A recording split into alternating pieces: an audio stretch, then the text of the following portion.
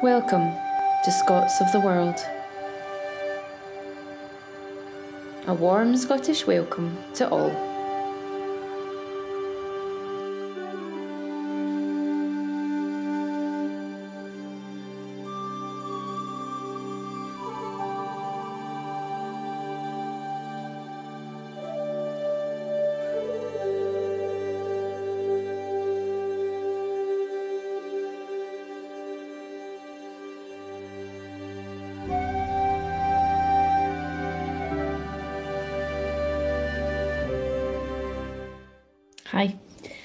Karen Kerr and I'm one of the co founders of Scots of the World.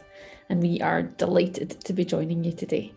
Um, we are so sad that we can't be in there in person, um, but we decided to record a little video just to give you a little insight into Scots of the World, what we're doing, um, and to meet our vendors. Um, we were actually at Tartan Week in 2013. Um, the platform started as a communication tool, as a social platform for expats and Scots living around the world to stay connected to Scotland. Um, but it's become much more than that. Uh, we looked to add value to that audience. Um, we've grown our Facebook page to 18,500 followers who are very engaged and, you know, just thirsty um, for a little bit of Scotland. So we decided, what can we do to try and bring Scotland ever closer? Um, as a branding designer, I, I feel that um, Scotland as a brand has never been stronger.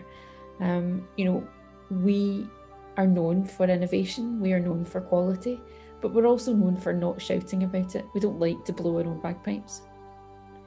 So at Scots of the World, we offer a platform for those makers manufacturing in Scotland um, to reach that global audience.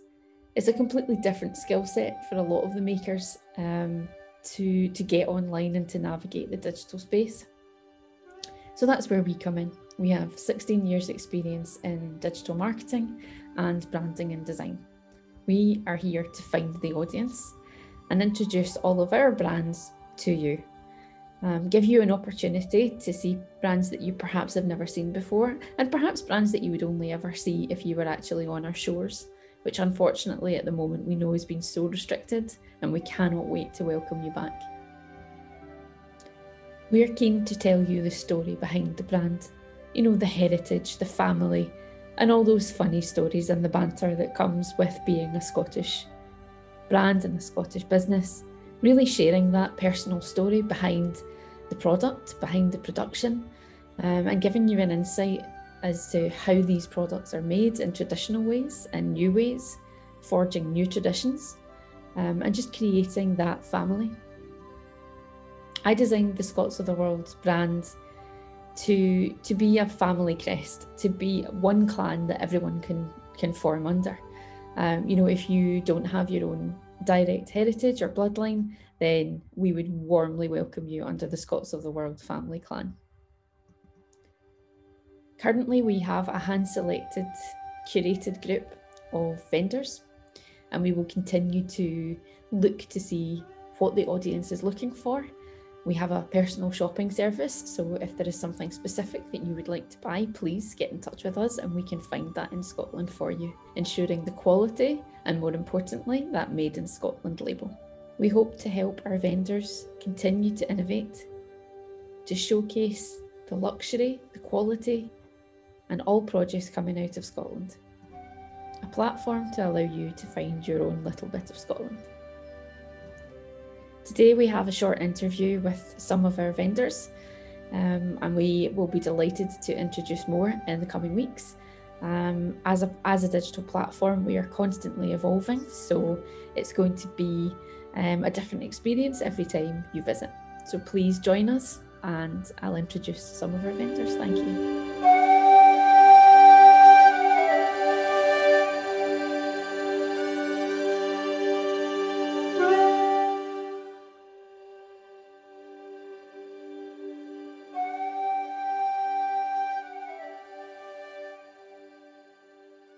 My name's uh, Martin Fleet, and our company is uh, Sheila Fleet Jewellery. Um, we're based up in the Orkney Islands, right off the north coast of Scotland. There's a small group of beautiful islands, and uh, that is where we design and make all our jewellery. I'm Fiona Matheson and I'm a Scottish artist based in Inverness, which is the capital city of the Highlands. I was born in Aberdeen and I studied at Winchester School of Art in England before returning back home. Uh, my name is Charlie Stott. I'm the owner of Hayward Stott. We are silversmiths in Edinburgh in Scotland. We're a company which started uh, 25 years ago, uh, originally making and selling antique silver, but we've developed it to manufacture of our own range of domestic silver, particularly with regard to Scottish and Highland thistle designs. Uh, we have a small workshop and our own silversmiths, and uh, we are now moving into uh, a more expansive range of associated products uh, to our own designs, which uh, we are developing over 2021 and beyond.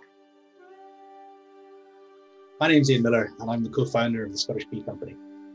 I set the business up with my wife, Susie, and our motivation was to give a helping hand to the, the struggling bee population. And we do that by selling premium provenance honeys in Scotland and overseas. My name's Alison Hartley.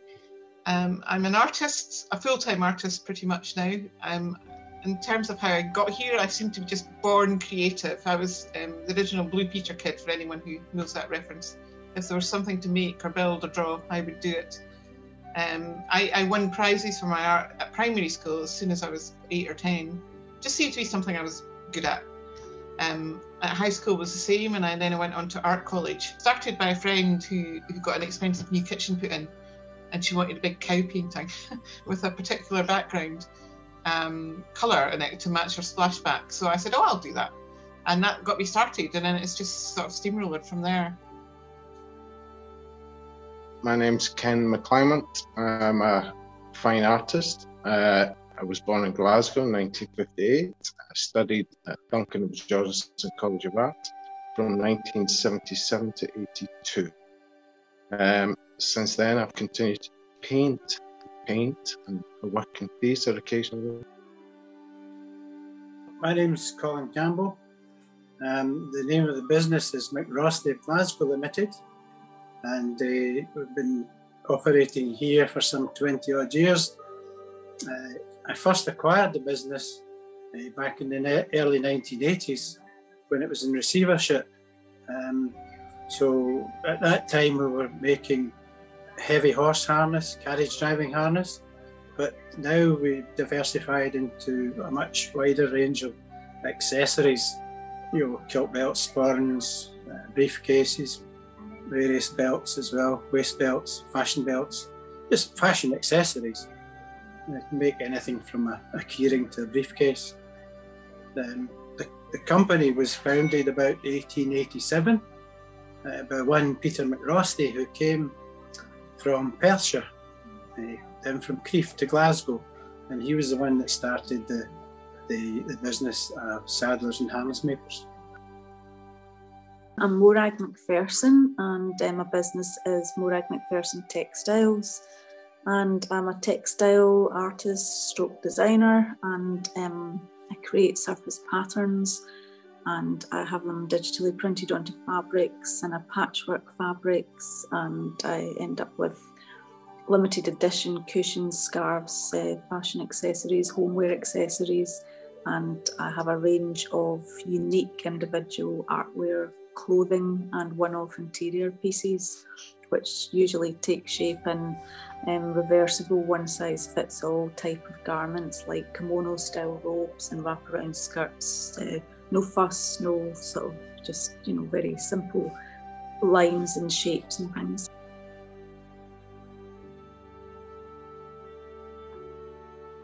We uh, design everything that we make, but on top of that, we are open to the manufacture of specific commissions for people. This could be a Scottish quaich of a certain size.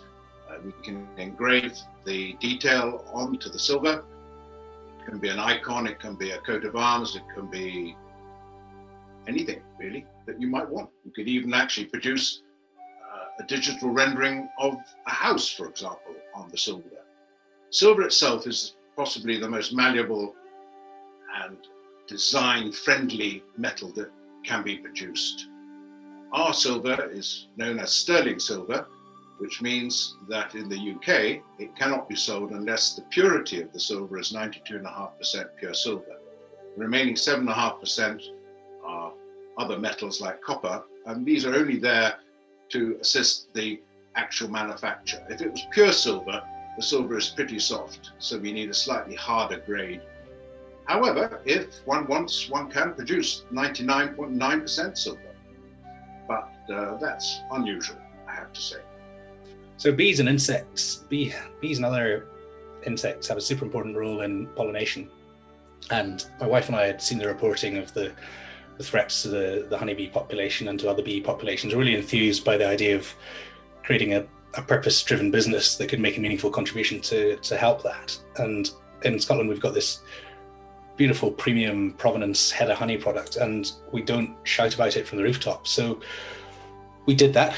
Um, we started shouting about it. We won a top quality platinum award at the London International Honey Awards, and we established the world's first BSI kite mark for, for provenance assurance and started to reinvest in the pollinator population. And to date, we've we've created Scotland's first beekeeping apprenticeship, and we've committed another 25 million bees. Before my time in the company, the, the circus had come to Glasgow, and uh, the old saddler, Master Saddler, then was Hugh Mason and I remember him telling me a story about when the circus arrived, it was a, an elephant had got a sore foot and they tracked him down and asked him to make a, a boot for it. And so he managed to do that. So that was his kind of claim to fame. He always used to say that he could make a battleship from leather. He was very good. Um, I was commissioned, a guy walked into my workshop here one day with a pair of green welly boots he was actually a, a, a tribute act to Billy Connolly. So he, dropped, he dropped these down onto the bench and said, Can you turn these into big banana feet for me? So, and I actually managed to do that. It was quite a challenge. I did a, a project in, uh, with the Hyatt Union Square Hotel in New York um, a few years ago. So I did um, these lovely sort of um, nature inspired designs that um, the Venny Lau Design Group picked up on when they saw my work at the International Contemporary Furniture Fair in New York when I was exhibiting there one year. And she had a connection to the whole Glasgow style and she picked up the sort of the influence in my patterns uh, alongside sort of Charles Rennie Mackintosh, she thought. Um, so she picked up that kind of influence and wanted me to do two sort of different panels for spring, summer, and autumn, winter. These were then printed onto headboard fabric and they were put in about 200 rooms in the new Hyatt Union Square Hotel in New York City in Union Square. And they were sort of reversible so they could be changed um, to do with the seasons and they were like the artwork in the room rather than paintings. They just um, embedded the artwork into this uh, sort of uh, panel behind the bed and it was all the, the idea behind the brief was because of the the park in Union Square outside the hotel and they were trying to bring the nature inside and to the hotel. So that was a, a lovely commission to have. Um, so that's all in Union Square Hotel now if anybody's ever in it. Have a look.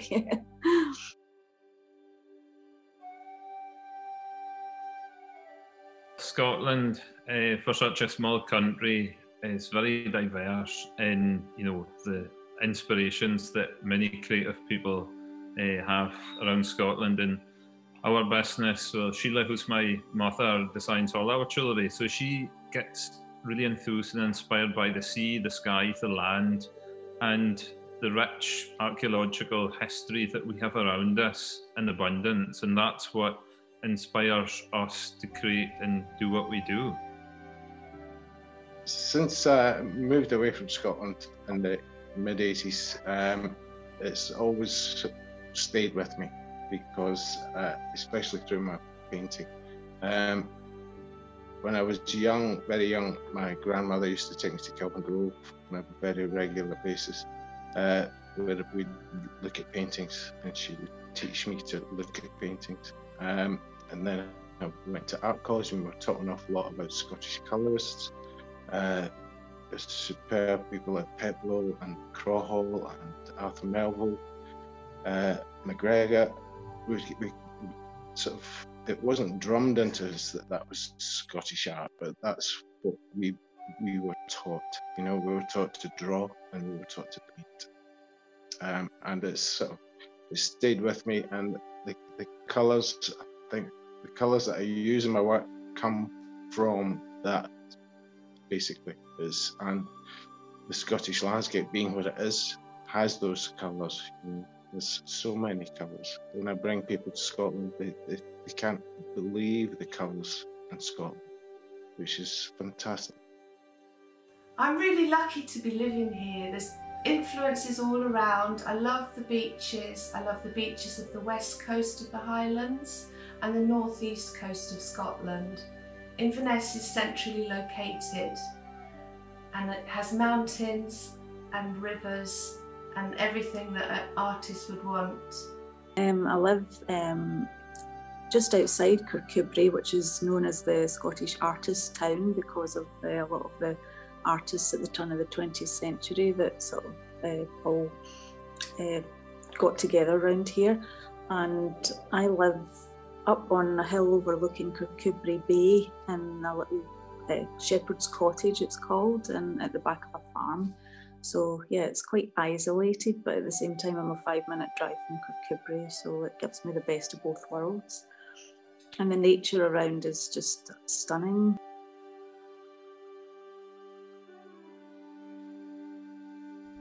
Scotland to me is a great, great country. It's our home, it's our identity, and it's family history. Perhaps more than that, it inculcates in us a great sense of belonging. I don't think Scotland is necessarily the best country in the world, but it is my country. Moreover, perhaps, it's the greatest influence on how we design and manufacture silver. Three words to describe my artist community would be inspiring, supportive, and encouraging. If I were to describe Scotland for us in three words, it would be unspoiled natural larder all people in Scotland makers are very passionate about what they do. Um, that obviously very creative and exceptionally innovative in, in what they do. I would say that's certainly three pretty good words to describe many fantastic makers across Scotland.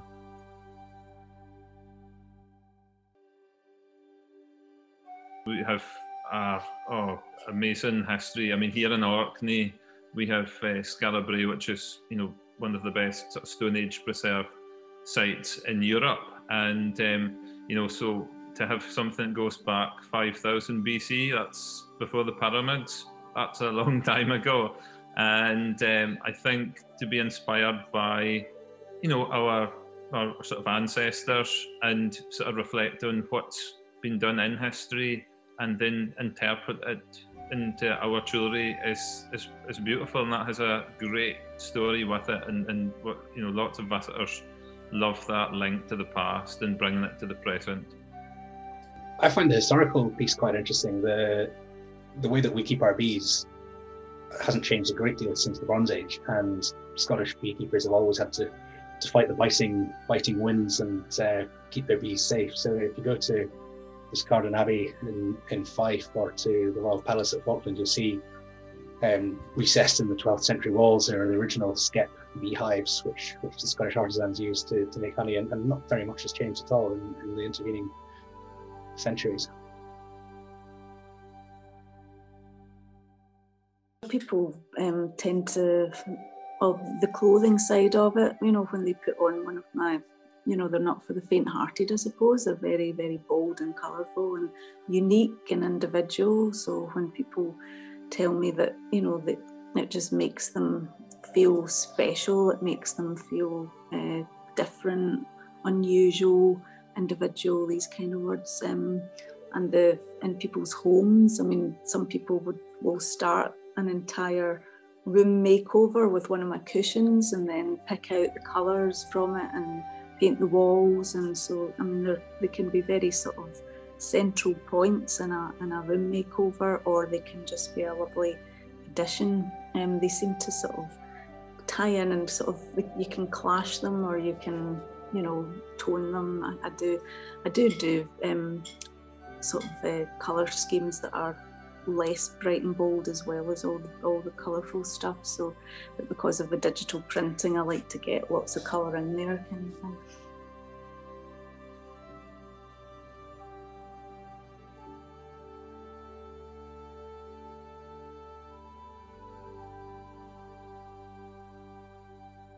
First foremost, they have to like the design. That that's what draws you in, and um, you know it's in precious metals and silver in, in gold mainly with beautiful ground glass enamels.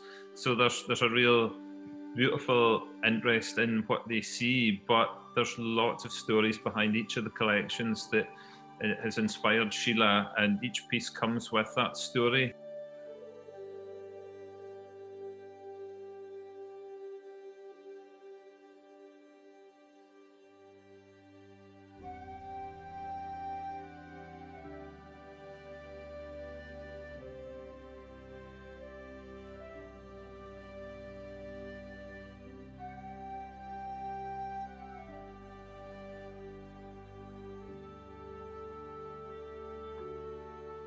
We get a lot of people saying to us that our honey tastes like the honey that they, they would used to have from their, their grandfather's hives. So a lot of people that have experienced proper honey and honey that's particularly has been foraged on, on a heather moorland where there's a really punchy flavour to it.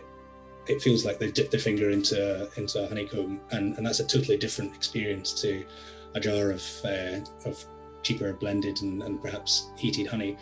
We've done nothing to it. It doesn't it doesn't get any hotter than it would naturally in the hive, and it, it very much feels like the experience you would get of taking honey from a hive and just just eating it. So it's, it's a it's a really immersive experience.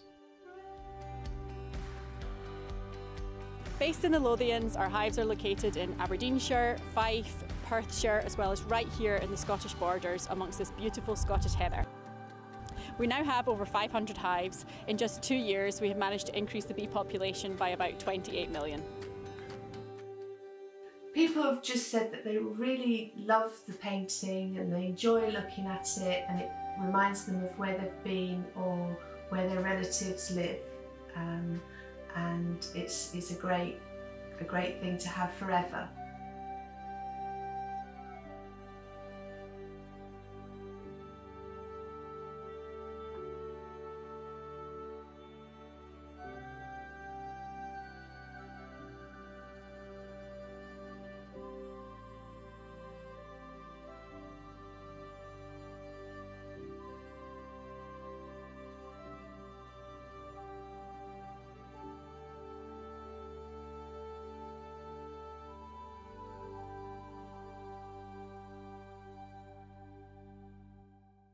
We're different from a mass-produced thing.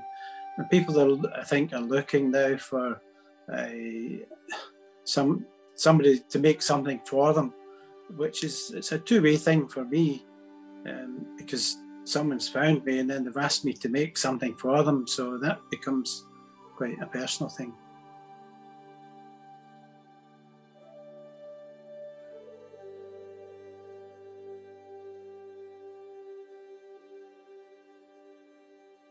Most of the time, I feel that uh, what draws people to my work is the colour.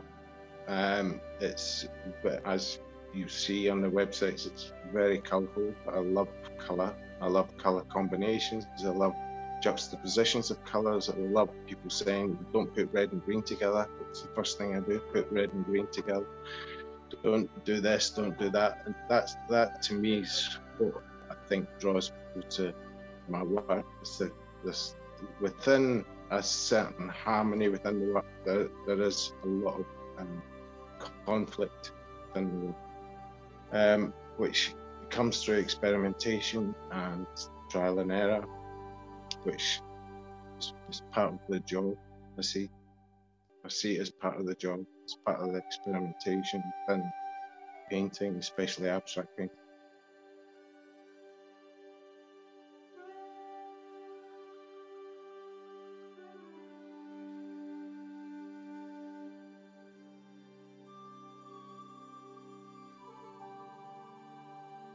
People say um, is they love the colours. I suppose colour is the word that comes up a lot and expression.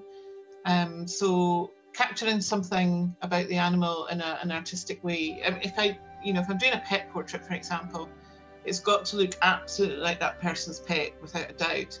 But beyond that, it's very much a piece of art in that it's got colour and texture and vibrancy and um, you know, it's it's modern and sort of jazzy almost, I suppose.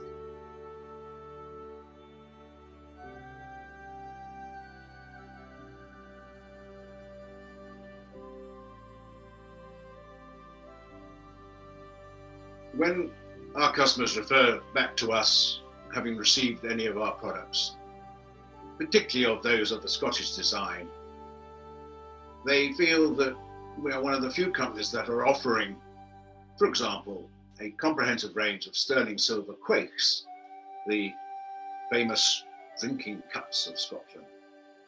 I think that they feel that we're one of the few companies that produces traditional and indeed to some extent some modern designs which complement their lifestyles.